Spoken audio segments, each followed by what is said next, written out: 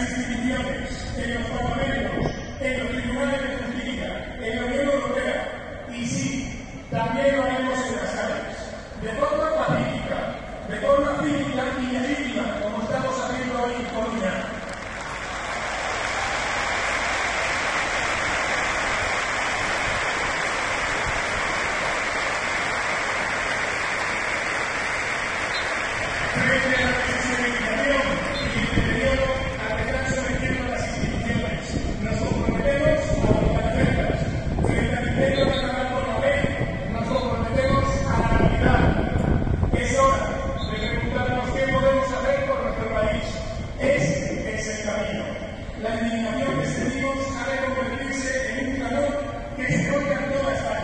Yeah.